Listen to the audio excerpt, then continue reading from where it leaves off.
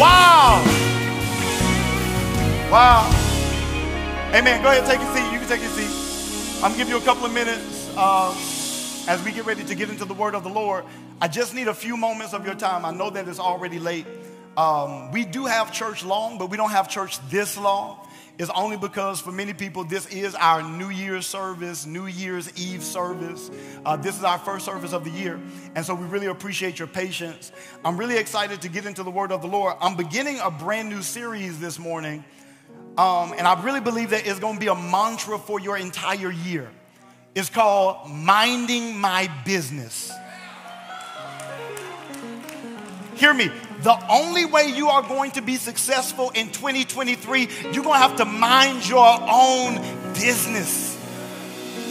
There is no way you're going to be able to be focused on what other people are doing, enamored by what other people are making, by what other people are producing. Hear me. You're going to have to break the addiction of competition in order for you to be successful this year. Come on, I want y'all to say, Lord, give me supernatural focus. Come on, y'all. Say, Lord, give me tunnel vision. Hear me. You can't go to the left or to the right. You are going to have to be focused on the assignment that God gave you. And I'm really excited to begin to build this concept. Hear me. I'm a series preacher, meaning that I don't try to give you everything in one moment. I like to build. Here a little, there a little, line upon line, precept upon precept. And so that's how we're going to build. So we're going to have our first installment today. But this sentence that the Lord is building, even though He begins it today, He's going to continue to add to it week after week. And so I really appreciate you being here today. You may be from out of town, but even if you are from out of town, do me a favor next week, watch online because I believe what God is saying today, He's going to continue to say. And before I go further, I want to make sure that we greet all of those that are watching online. Can y'all do me a favor and put our hands together for our online community? Come on, we greet y'all. We appreciate y'all. We know that you wanted to be in the building, but you're watching online. Maybe you're cooking, maybe you're driving, maybe you're at work, but we appreciate you watching and worshiping with us. We pray that you had an opportunity to worship, not just through a demonstration, not just through songs, but also through giving. We want you to know that you can become a part of our church even online. We are building our e family, our online family, our online embassy church, and we would love for you to be a part of it. So please get connected. You can type partnership in the chat or type anything that you're believing God for, and we have intercessors that are going to partner and pray for you. Come on, everybody say amen. All right, let's get our Bibles out, and I'm gonna ask you to stand for the last time before we leave. Come on, let's stand to our feet. We like to reverence the Word of God by standing on our feet. We believe that nothing can move, can change, but by the Word of God. The scripture says, Heaven and earth shall pass away, but not one jot or tittle of his word shall ever be removed. Come on, somebody say, I love the word. I love the word. I love the word. I love the word. I love the word. Here at Embassy City, we are people that love the word of God. We love good preaching. We love revelation. I need my front row to shout at me. I said, We love the word of God see, I said, we, we need some believers in here. Amen. We love revelation. We love the depth of God's word. We believe that God's word has power. Amen. Come on, y'all. So hear me. We believe that nothing moves without the word of God. So we believe in the word of God. And we want to make sure that we start this new year off right. Let's go to Luke chapter 2. Luke chapter 2. Let's work.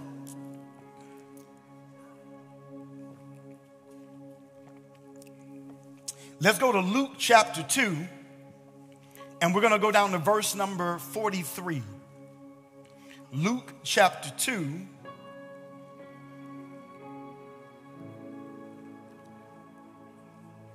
The gospel according to Luke chapter 2. And let's, get, let's go down to verse number 43. Calvin and Shay, thank you guys so much for being here. I really appreciate you. I love you. Thank y'all so much for being here. Uh, my cousin, who's also a pastor here in the city, Pastor Antonio Grissom. Where are you at? Let me just say hey to you. Where are you at? I see you. Thank you so much, cuz, for being here. Amen. Can y'all put your hands together for him? If you can. I know you're holding your Bible. But I appreciate you. Thank you so much for coming, man. Thank you so much for co- coming. I remember when I first started preaching. I don't know if you remember that. When I first started preaching and you invited me to your church, I didn't know what I was doing and you still love me. Hey, you got to bless God for people that gave you a chance, for people that just trusted you without a rhyme or a reason. So thank you so much for being here. Luke chapter 2, when you got verse number 43, let me know you got it by saying, I got it. It reads, And when they had fulfilled the days, as they returned, notice you can't leave a thing until you fulfill the days, right?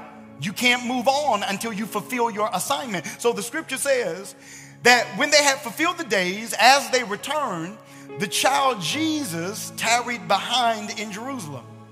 And Joseph and his mother knew it not, or knew not of it.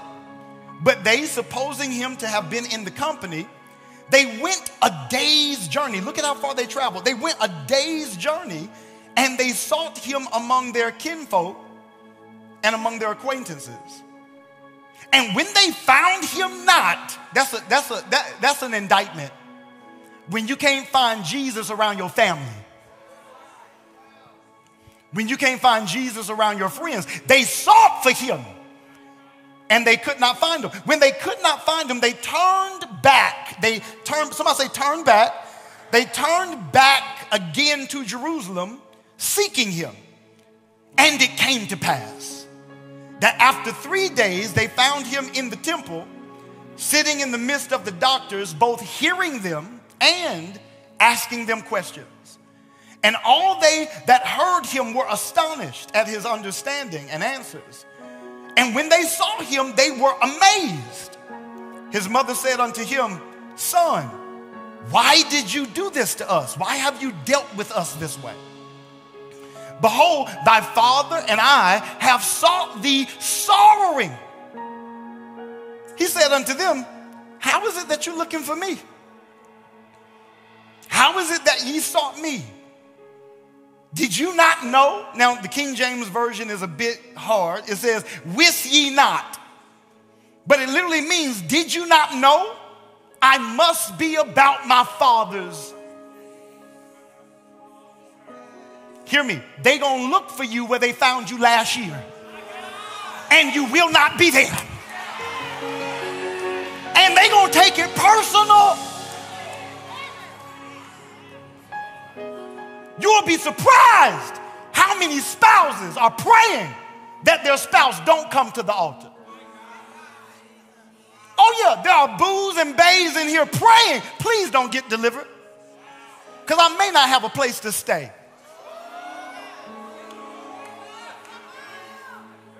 But you got to let them know what God is doing in your life, it ain't personal. This is not about you. This is not an indictment to who you are. What God is doing in me is not personal. And so I want to preach the first message of the year from the message, It's Not Personal. It's not personal. Come on, I want you to say it three times. It's not personal. It's not, I want you to get used to it. It's not personal. Why you didn't call me back? It's not personal. Why you not available to hang out? It's not, per- I'm not going to the club. It's not, I'm not talking about your husband with you. It's not personal. I'm just different. Let's pray. Father, we thank you for your word and we thank you for revelation. Change us by your word. It's in Jesus' name that we pray. Come on, everybody say amen. Come on, take your seat. Take your seat. Give me a few minutes and I'll get you out of here at some point. Today's a pretty difficult day, um, especially if you're a preacher, because when you have a service like this, everybody comes with their own expectation. And I'm not talking about expectation as it relates to what level God moves on. I'm just talking about what to expect in general. For some people, they didn't go to New Year's Eve service. This is their party, so they ready. They got the liquor in their in their pocketbook. Amen. They are ready to party. Let me get out of here. I'm about to go to brunch. I'm ready to turn up. For other people, you are fasting. You are preparing uh, for a supernatural spiritual year. People have different expectations, and as a preacher, it becomes hard to preach without establishing proper context. Because if you preach without context, you'll always be misheard and misunderstood. So, the job of any good preacher is to establish context for his message. To establish context for the revelation so that it makes sense and so that it's accurate. So allow me to establish context. Everybody say context. I need a few minutes to establish context, and I want to do this by utilizing a comedic technology called a setup. In, in comedy, they have what they call a setup. If you don't have a good setup, usually the punchline doesn't land.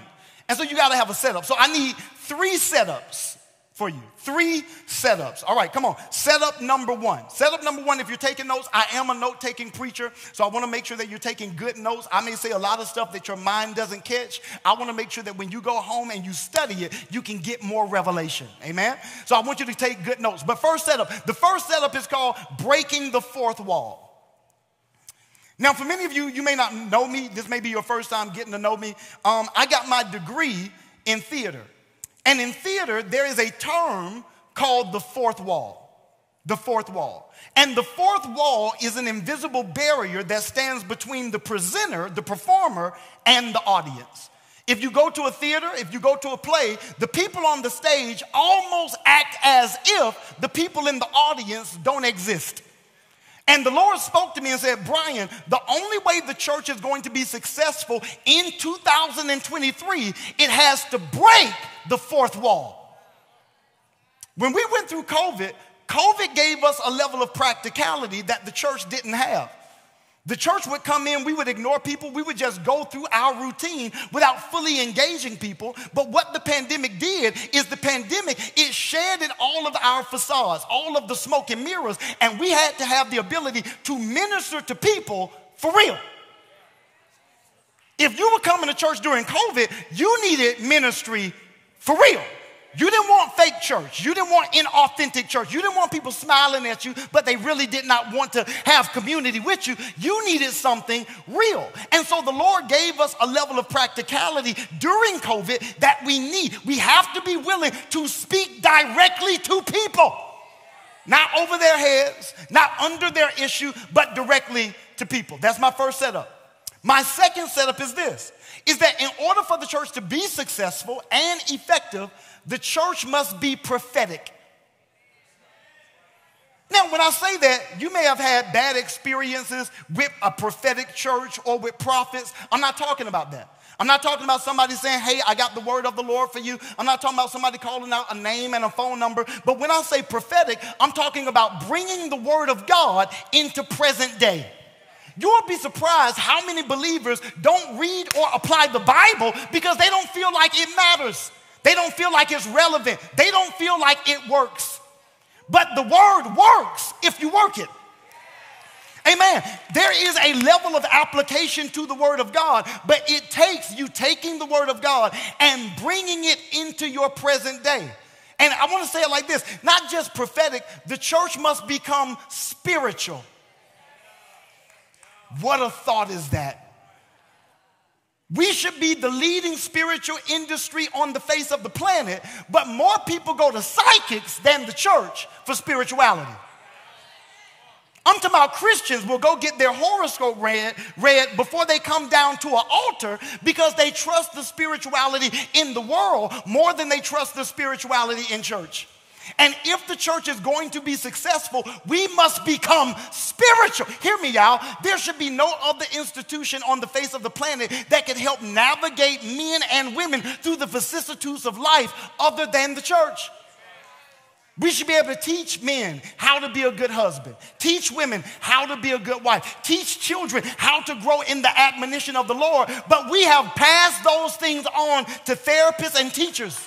Oh, Bryan, you better calm down. We expect the school counselor to do what the parents should do. And then when we don't raise them up the right way, then we bring them to the church and say, cast the devil out of them. Why cast the devil out of them when you're going to put them back in when he go home? Y'all, God wants to build an inheritance of spirituality where we know what prayer is and we know what it does. And then we pass it to our children. Well, we know what laying on of hands is and we know what it does and we pass it to our children. Well, we know what speaking in tongues is, we know what it does and we pass it on to our children. Are y'all here? The Lord wants to give you, I want you to write this down, an inheritance of spirituality. The church must become spiritual. My third setup. My third setup. The church must become spiritual, breaking the fourth wall. But my third setup is we, we are at a crossroads. I'm talking about nationally. As a species, as a church, we are at a at a crossroads. I'm telling y'all, man, developing this message was so hard because there are so many things, so many things happening. Number one is the first Sunday of the year. We're going into a brand new year. We're coming out of 2022, going into 2023. And as a preacher, I felt like I needed to address the old year and address the new year. We're at a, cross, a crossroads. Not only that, embassy, we're in a brand new building, we're in a brand new season, we're in a brand new chapter. And as a preacher, I felt like I need to address that. I need to speak to that. But how do I speak to that and speak to the new year?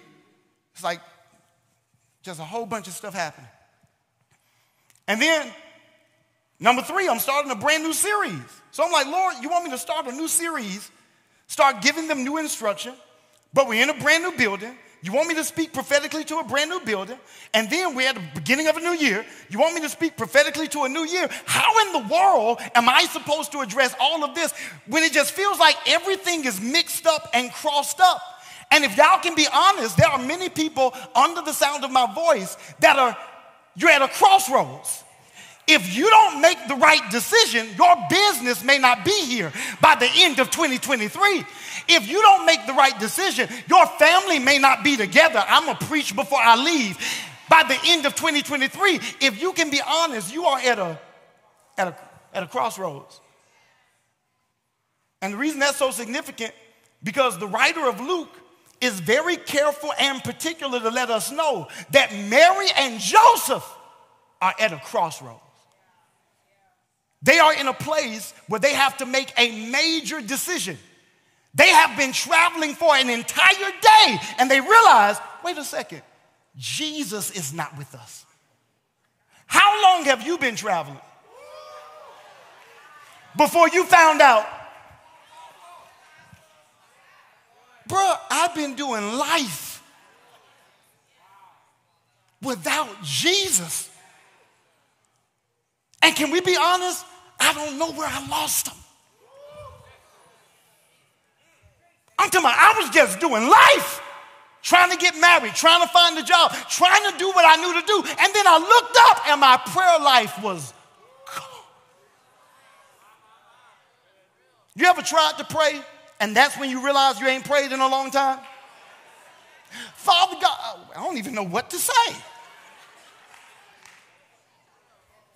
Because hear me, the stuff you don't use, you lose. The scripture says when Jesus was 12 years old, all of a sudden, it is now the feast of Passover, and they are going to make their way to Jerusalem to worship. When they get there, there's so much stuff happening. I'm talking about people are buying offerings and selling offerings. There is a book that I've been reading called The Mind of Christ.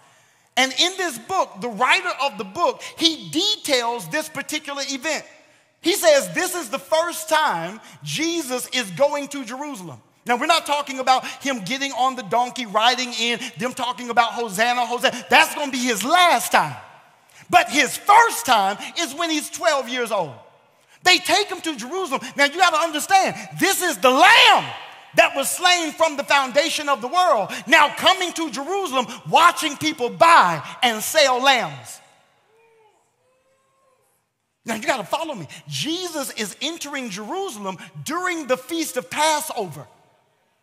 They are buying lambs killing them. And Jesus is walking through the streets of Jerusalem, watching people do to the lamb what eventually they're going to do to him.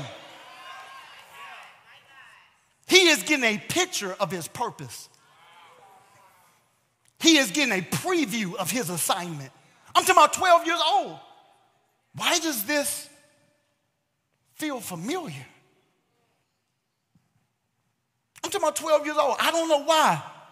But I feel comfortable around this. because this is the reason for which I was born. And he finds himself in the temple. Watch me. He gets lost in the temple. Now, the temple ain't big. So, how did he get lost in the temple? Now, I need you to hear me because this is a word for you. The only way your business gonna grow, you're gonna have to get lost in your business. You're gonna have to get lost in your calling. You're gonna have to get lost in your gift, in your anointing, in your family. When people look for you, they shouldn't be able to find you all the time. Why is it that every time I log on Facebook, you on Facebook? You ain't got nothing to do. You ain't got no business. You ain't got no, you ain't got no family. You ain't got no friends. You always online. Available. That's what it say. Available.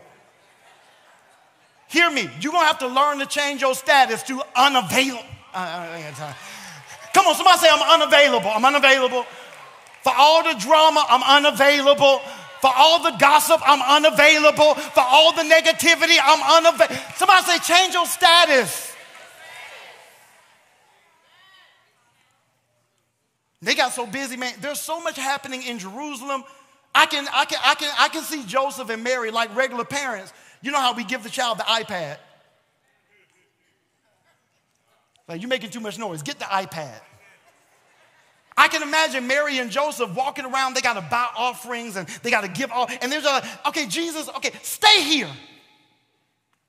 Just stay here. Just stay here in the temple. We'll be back for you. But he got lost in his calling. See, they traveled a day and didn't realize they didn't have Jesus. Jesus was so lost in his calling, he didn't realize they left.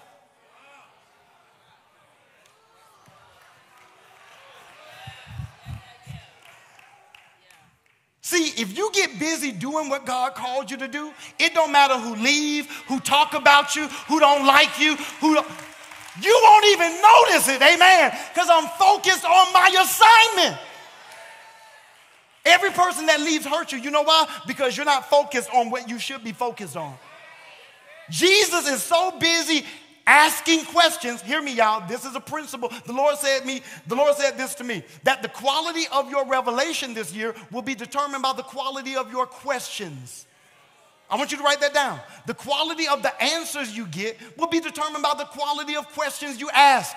But the quality of questions you ask will be determined by the humility of your heart.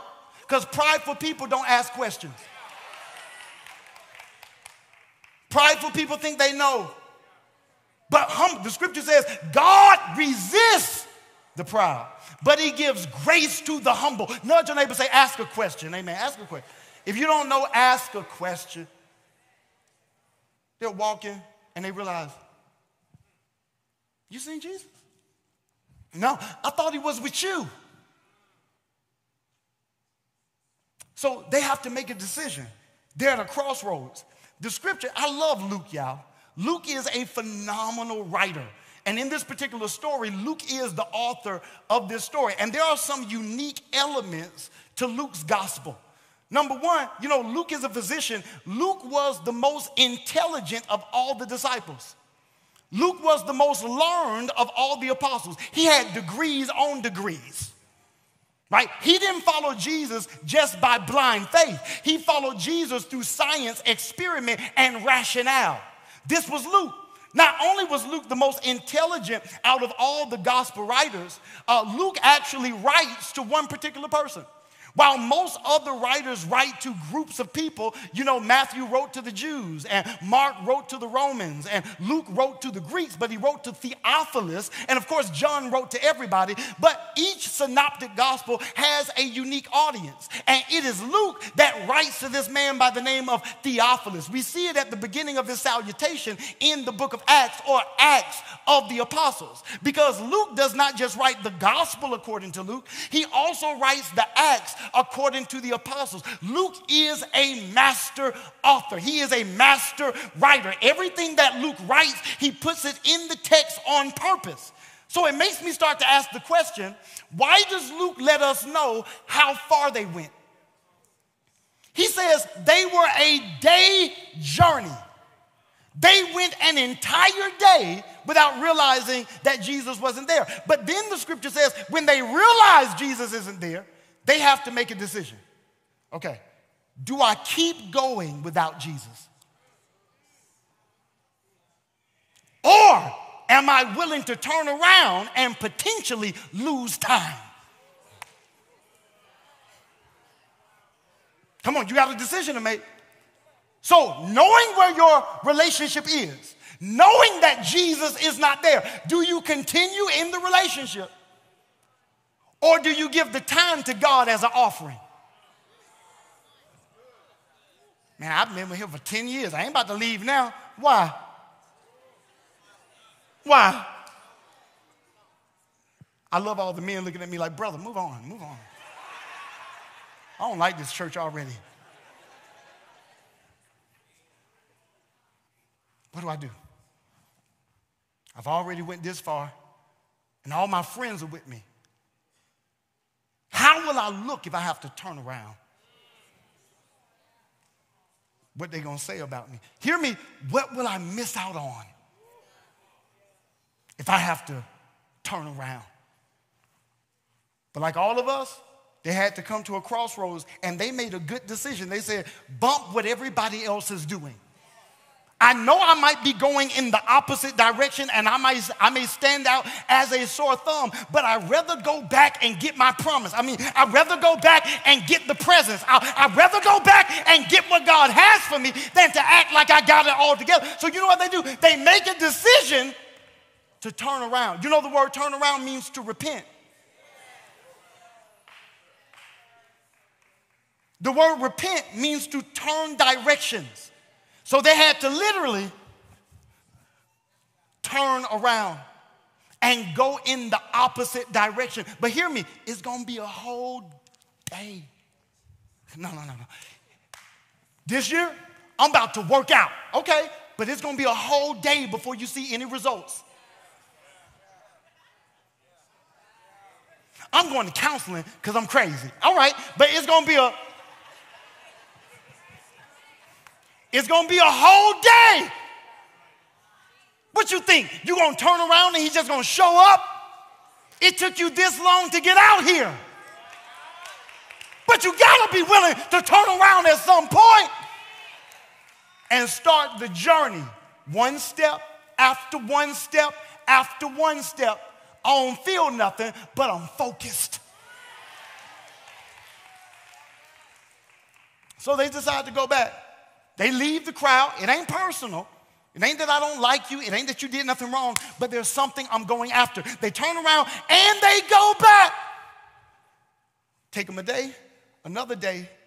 The writer of Luke says, after three days of looking, so that's one day, two day, three days. This is five days where a 12 year old is by himself. Now, what your 12 year old would do? If they was at home for five days, your house would be burnt down. You would think people, you would think stuff would be in disarray, in a mess. But when they come, watch me. This is what they they find them, and they said, "Why did you do this to us? Why did you do now?" Jesus been in the same place the whole time. He was where you left him. So if he's where you left him, why are you mad at him that he's not in the storm you're in? He said, watch me. He said, why are you looking for me? Did you not know I must be about my father's business? Now, I, I want to deal with that, but I, I, I, I got to make sure I deal with the other component, but let's just deal with this here. Uh, you have to run your life as a business. Come on, I want you to write that down. Your relationship is a business.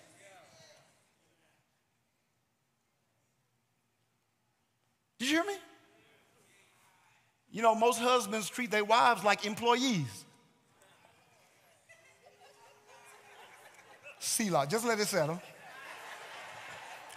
All the men didn't want to laugh. They're like, huh. You can laugh. Yeah. But I've learned that the employee will mirror the culture of the manager.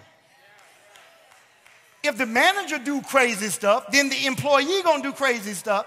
So if you don't like your employees, most likely there's an issue at the top. But what I'm saying is that your marriage is a, is a business. You got profit and loss. You got budgets. Jesus said, before any man builds a tower, let him first sit down. Let's be honest, you didn't count before you got married. You didn't know how much nerve you was gonna have to give up to be married. Hear me. Your anointing, come on, I gotta go. Your anointing is a business. I want you to write it down. Your ministry is a business. The gifts that God has given you so that you can bless the world, that's a business. Have you invested in your business? When was the last time you read a book? When was the last time you took a class? When was the last time you took a training? Have you invested in your business? Or do you think it's just gonna happen? Your gift is a business. You have to grow your gift. The scripture says your gift will make what? Room for you. But that means your gift has to be competent and excellent and skilled. And how can it be that if you don't invest in your business? Your health. That's my business. I got to make sure that I'm eating. Are y'all here? No, you're not. How many people going to the gym tomorrow? Liars, all of you liars. Now, if you're going to go, that's good, but can you be consistent? Come on, somebody say, My body is my business. Why you keep letting people touch your business? Oh, it got, it got tight. It got tight. Come on, if you had a cookie company, would you let anybody come in there and get your cookie? Pause. I don't like that. That didn't go the way I thought it was going to go.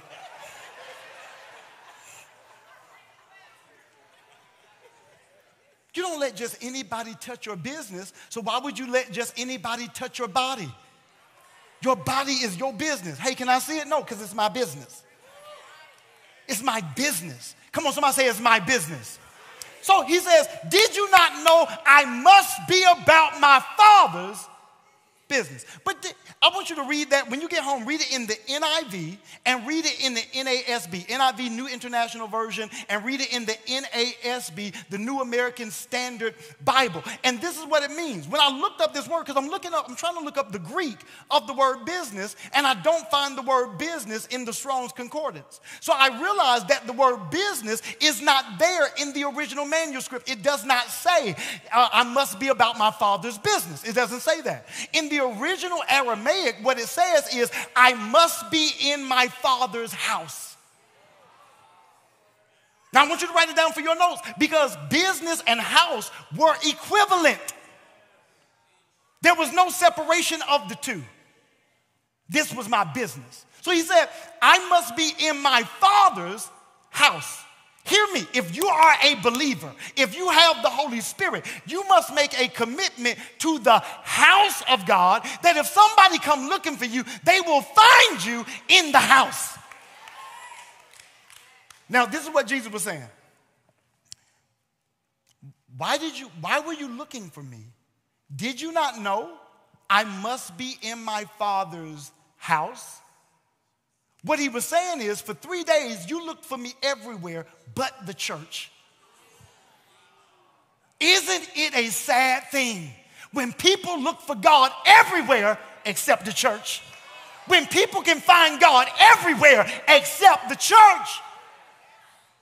He said, Did you not know I've got to be in my father's house?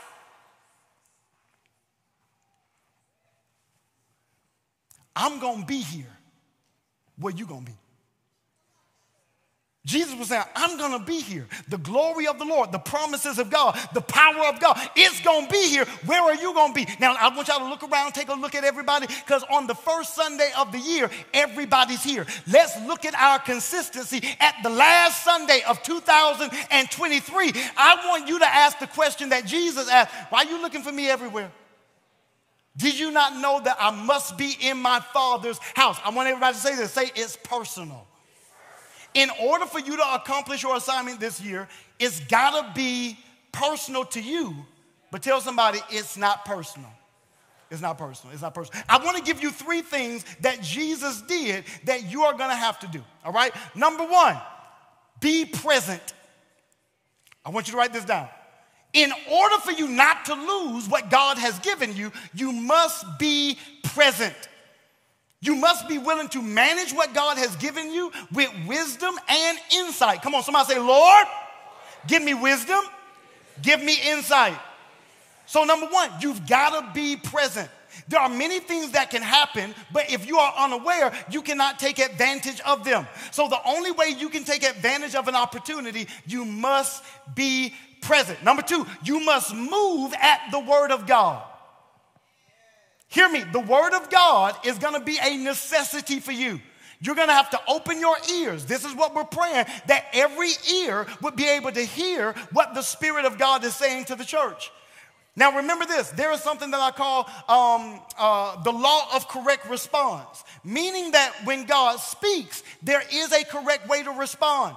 I want you to write down Genesis chapter 22, verse number 1 through 3. When God spoke to Abraham, he responded immediately. The speed of your obedience determines the speed of your blessing. All right? The speed of your obedience. Hear me. Hesitate if you want to. This ain't the season to hesitate. This ain't the season to second guess. This is the season to move when God speaks. If God say lift your hands and yell, you better lift your hands and yell. If God say take off running now, don't sit there and be like, what would they say? Take off running now. If God says sow what you have in your bank account, don't worry about where the provision will come from because he will be Jehovah Jireh. You got to do what God says do. Somebody say when he says do it. When, when he says, you got to do what God says do when he says do it. You got to move in his word. Mary and Joseph are outside of the temple. Jesus is in the temple. Jesus is in the temple with dead men, Pharisees, legalistic. Mary and Joseph, they're out of the temple, dealing with money, market, commerce. There is a presence outside and there is a presence inside. What we see in Luke chapter 2 are the two becoming one. Because Mary and Joseph represent wisdom, Jesus represents zeal. They must come together. Are you here? Jesus represents the innocence of being a child, while Mary and Joseph represents the experience and wisdom of being an adult. They must come together. You must keep your childlike faith, but you must also know how to balance your budget. They must, somebody say, come together. They got to come together.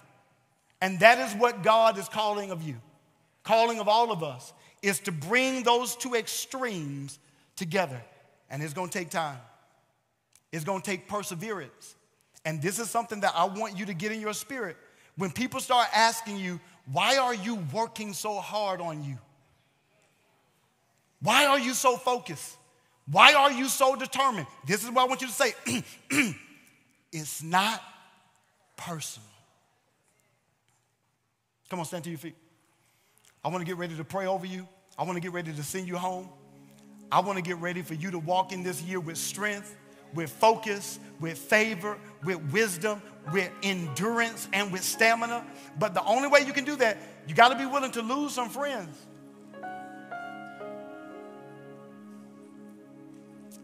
Hear me. I pray that the Lord gives you grace to disappoint needy people. I felt strength all the way over there. I said, I pray that the Lord gives you strength to, to say no. Change your status to, I'm unavailable.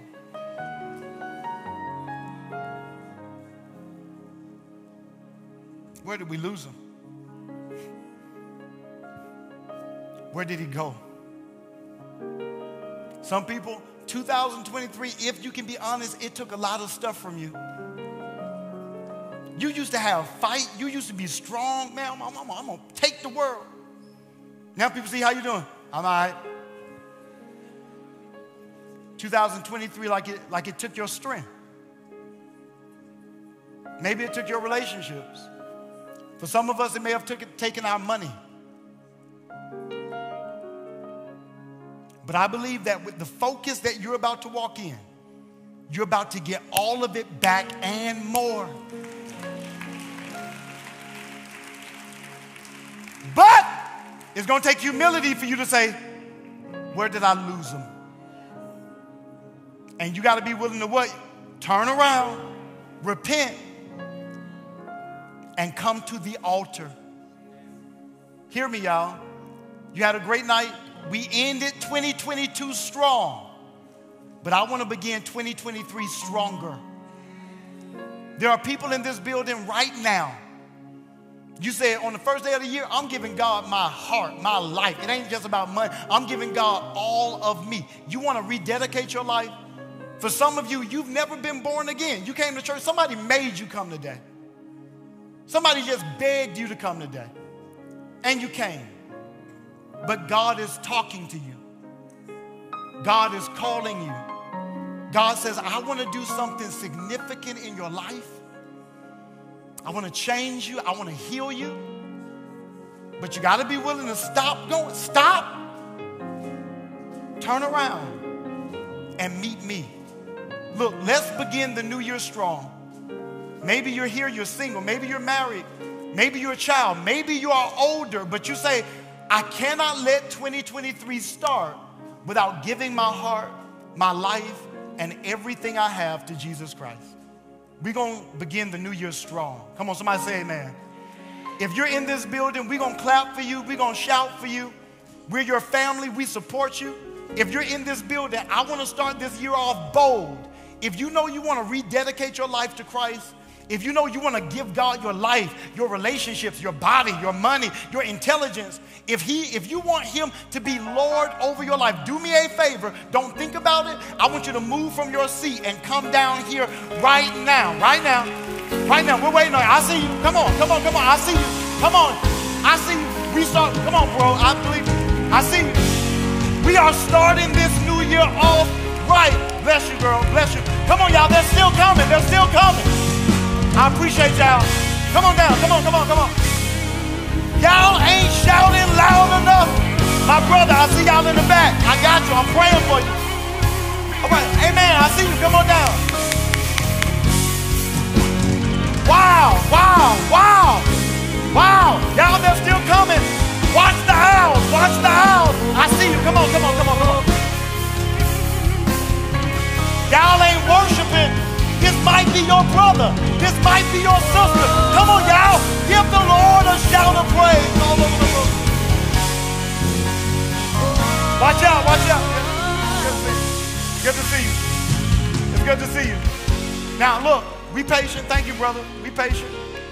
Come on, sneak up here. You ain't got to wait.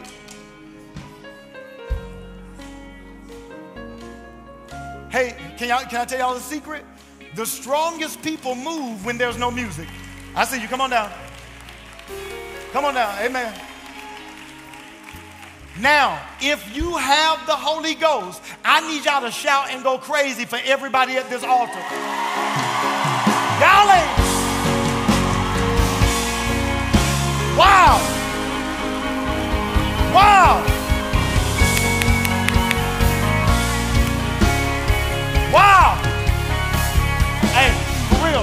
Proud of you. Proud of you. Proud of you. I'm not going I'm not going to minister too much because we're already over time. I'm proud of you and you. I saw you come up, all right? The hand of God is on your life. That's why you always feel like just uh, you, you always feel alone regardless of hey, bless you, bless you. You always feel alone regardless of where you are. And that's because God is focusing on you and he wants you to focus on him. But I want you to understand something. God's hand is on your life. Bro, it's good to see you. My brother came to the altar, y'all. My brother came to the altar.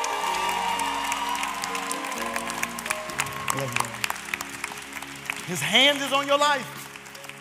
All right? And there's so much ministry here. Now, I want to say this you're not just giving your life to Christ, you're giving your gifts to Him. All right? God is demanding more out of you, and we appreciate you. I'm gonna get y'all out of here. Y'all gonna go home. They're gonna follow uh, Miss Lisa down there and Miss uh, Vanessa. They're gonna lead you to our partnership room or to our salvation room. We're gonna pray for you. We're gonna get your information. We're gonna call you on Monday. Somebody else coming? Amen. Amen. It's good to see you. Amen. Amen. Bless you. Bless you. We're gonna get your we're gonna get your information. If you're not in town, we'll help you find the church wherever you are. All right? If you're in town, if you're if you live too far from here, um, even though I don't believe it's too far from here, we got people. How many people traveled an hour today? Thank you, thank you, thank you, thank you, thank you. And so I don't believe it's too far away. Uh, this is so cheesy, but a church alive is worth the drive.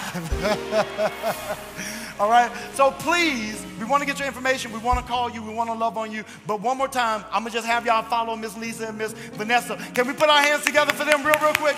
Thank y'all so much. Come on, y'all. Y'all going to walk this way. Come on, y'all walk this way. Thank you so much. Amen. We're going to have y'all walk this way. Yes, ma'am. Yes, ma'am. Right there. Right there. Right there. Thank you. Calvin!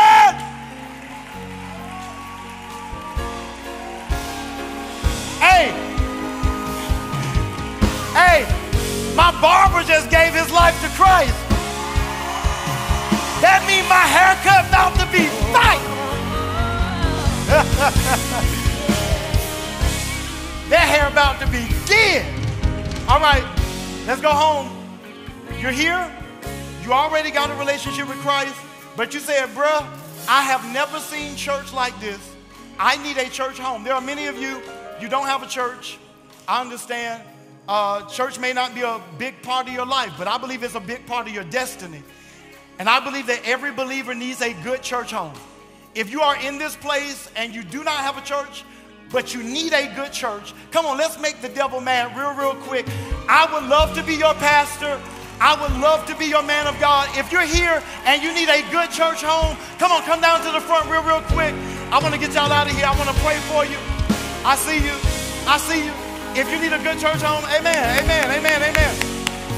Come on down. I see you. I see you. Come on, you can get your purse. I see you. Come on. Come on, y'all. Let's shout as they come. Let's shout as they come. I see you, my sister, coming. Amen. Come on, y'all. Keep shouting. They're still coming. Bless you, woman of God. Come on down. If you need a good church home, I would love to be your pastor. I see you. All right, let's get ready to go home. I want to wait for you. I told you the strongest come when there's no music. Come on, bring the music down. You need a good church home. I would love to be your pastor. I don't know if you have anybody to cover you, to pray for you, to help develop your gifts, your skill, your anointing, and your calling and your ministry. But I would love to see you grow in the admonition of the Lord. I see you coming. Come on, let's keep clapping. Let's keep clapping. Amen. I want to get ready to go, y'all, but I would not be uh, a good pastor if I didn't say thank you. All right? I can't wait to be your pastor. All right? I love pastoring. I love watching people grow. Amen. Come on, come on, come on, come on, come on. Amen. You can come while I'm talking. Amen. Hear me. I love watching people grow. Stephanie, stand up here real quick. Uh, this is Stephanie Anderson. Her husband is Paul Anderson. When Steph, everybody knows this story, they go to our church. But when Stephanie first came to us, Paul will tell you, Stephanie wasn't saved.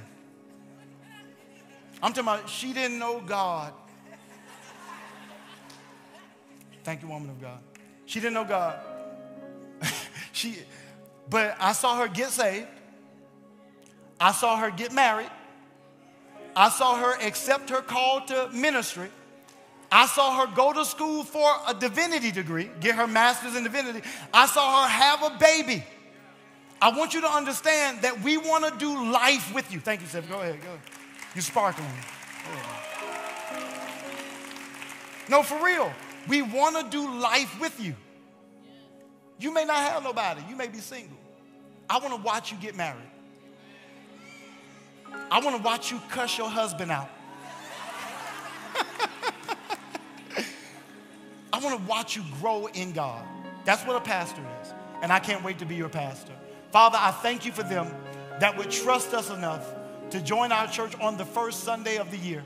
I ask that you would make this decision supernatural for them. Show them that they made the right decision by opening doors no man can shut and closing doors no man can open. It's in Jesus' name we pray. Amen. Uh, Bishop, y'all gonna follow Bishop right there. He's gonna take you, get some information for you or from you. Come on, y'all. Let's put our hands together for them. Let's go home. Wow. We love y'all. Come on, keep clapping for them real quick. We appreciate y'all. I promise you, if you got saved today, I'm about to dismiss y'all. I'm about to do the benediction. So I'm a, I want to bless you. Everybody say benediction. That means the final word or the final blessing. And so uh, when this last, uh, when those last couple leave, just close that door for me real quick. If you're walking, just wait for me one second. I'm gonna let you go. I'm gonna let you go. All right? But I want to give you the final blessing. Let's hold the doors real quick. We believe in the final blessing, right? You don't eat and then leave without paying the bill. And we always want to make sure that we hear that final word. May the Lord bless thee and keep thee and keep thee in perfect peace. May he make his face shine upon thee and give you favor, wisdom, and strength. As God begins a new year and a new season, Father, we decree this year a year of prosperity, honor, blessing, promotion, and favor. We thank you for all that you will do. And we seal this moment by saying, Amen. Now let's give God glory one more time. I love y'all. Welcome to 2023. Come on, hug somebody. You're free to go. Come on, love on somebody. I bless y'all. I appreciate y'all. The altar is open. If you need prayer for anything, if you need, bring down just a little bit. The altar is open if you need prayer for anything. You need a word from God. You want to lay at the altar. You want to worship. The altar will be open to receive you